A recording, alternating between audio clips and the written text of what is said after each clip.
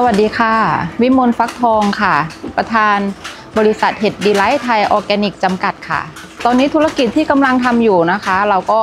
ทำเอ่อก็เชื้อเห็ดค่ะ เพื่อจะจำหน่ายนะคะ แล้วก็ทำเห็ดสดนะคะ แล้วก็แบ่งเห็ดสดส่วนหนึ่งค่ะ มาแปรรูปเป็นผลิตภัณฑ์ ที่แปรรูปจากเห็ดค่ะ เราเพาะเห็ดได้ทั้งหมด 13 สายพันธุ์นะคะ แล้วเราก็ขอมาตรฐานเป็นเห็ดออร์แกนิกนะคะ เราก็เลยคิดว่าเรามีเห็ดที่มีคุณภาพดีค่ะ มีมาตรฐานอยู่แล้วด้วยค่ะ เราก็เลยได้นำเห็ดตัวหนึ่งค่ะ ที่เป็นกลุ่มของหูหนูนะคะ เป็นหูหนูเผือกพันธุ์ไทยค่ะ เอามาแปรรูปนะคะ แล้วก็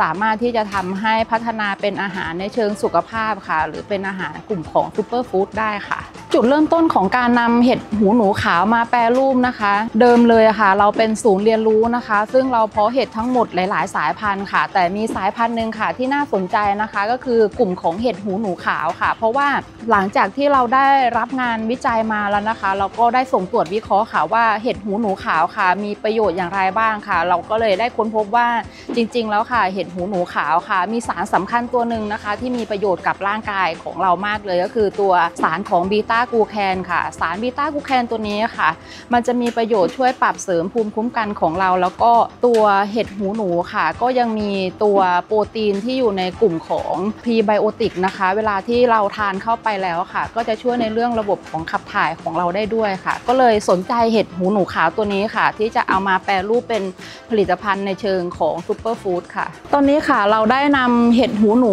นะคะ มาพัฒนาเป็นเจลลี่เห็ดหูหนูค่ะ ซึ่งตัวเจลลี่เห็ดหูหนูนี่นะคะ เราผสมกลิ่นของสตรอเบอรี่ค่ะ เราได้ใช้สตรอเบอรี่เลยนะคะ ที่ไม่ใช่แค่กลิ่นของสตรอเบอรี่หรือสารปรุงแต่งนะคะ เพราะฉะนั้นค่ะ เวลาที่เราเอาเห็ดหูหนูค่ะ มาทำเป็นอาหารของกลุ่มซูเปอร์ฟู้ดค่ะ ตัวเจลลี่เห็ดหูหนูค่ะกลิ่นสตรอเบอรี่นะคะ ใน 1 กล่องค่ะ เราบรรจุทั้งหมด 7 ซองนะคะ จะเป็นซองแบบนี้นะคะ บรรจุไว้ 7 ซองค่ะ 1 กล่องเราจำหน่ายอยู่ที่ราคา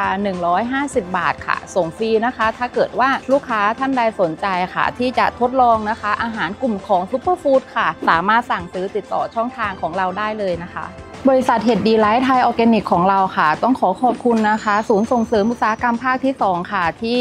ให้การสนับสนุนค่ะ บริษัทด้วยดีมาโดยตลอดค่ะ ได้รับงานวิจัยจากศูนย์ส่งเสริมอุตสาหกรรมภาคที่ 2 มาหลาย ๆ งานวิจัยนะคะ ทางกลุ่มเราก็ได้รับการสนับสนุนมาจากศูนย์ส่งเสริมอุตสาหกรรมภาคที่ 2 ค่ะ